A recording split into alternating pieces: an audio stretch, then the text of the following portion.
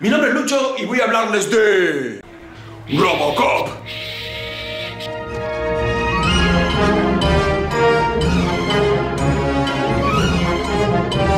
Robocop es una película de acción y ciencia ficción de 1987, dirigida por el director Paul Verhoeven, protagonizada por Peter Weller, Nancy Allen, Ronnie Cox y Kurt Ward Smith. La historia es muy sencilla. En un futuro cercano, las calles van a estar plagadas de crímenes, delincuencia y asesinatos. Así como los gobiernos, la corrupción va a ser moneda corriente. El futuro llegó hace rato.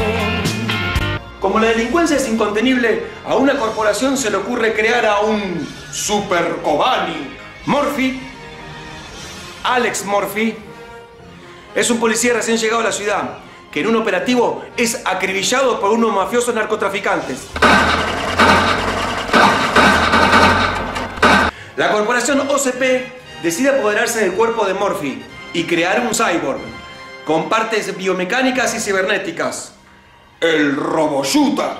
Las hazañas de Robocop no tardan en llegar, siguiendo con la ley, pero exterminando violentamente con la delincuencia. Usando su pistola,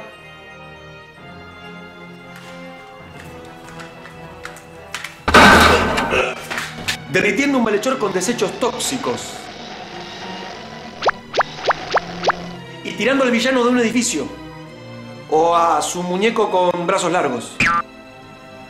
Debido al gran éxito de Robocop, las secuelas no se hicieron esperar. Robocop 2, donde se tiene que enfrentar con un pendejo malcriado y con un robot con el cerebro de un mafioso. También tiene que evitar que se propague una mortal droga que se administra en el cuello y es parecido a una mielcita. Y por último, Robocop 3, donde cambian al actor y se enfrenta contra unos milicos, unos punks y un robot chonja que tiene un problema en la mandíbula. En esta película, Robocop logra volar con la ayuda de una especie de Scrander. El traje de Robocop fue creado por el diseñador Rob Bottin. Posta, se llama así. Los diseños de los robots fueron inspirados en varios cómics, series, inclusive en la serie animada Robotech. La música fue compuesta por Basil Polidoris, aunque en el tráiler promocional de Robocop utilizaron la música de Terminator. Para que la gente se confunda, ¿viste? Y piense que es una secuela. El gran éxito de Robocop hizo que la saga continúe en varias series, series animadas, cómics y videojuegos. Incluso Robocop tuvo varios homenajes. Robocop tuvo una especie de reboot en el 2014 que la verdad que no le llega ni a los talones al original. Robocop es una excelente película de ciencia ficción, acción y ultraviolencia. Eh, recuerdo haberla visto de chico y con escenas que me marcaron por su sangre, por su violencia. Bueno, hoy día en cualquier noticiero se puede ver ese tipo de escenas, pero si no la viste es obligación que la veas.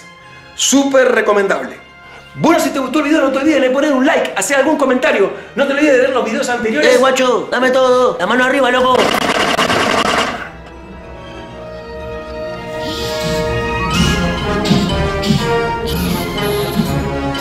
Suscríbanse.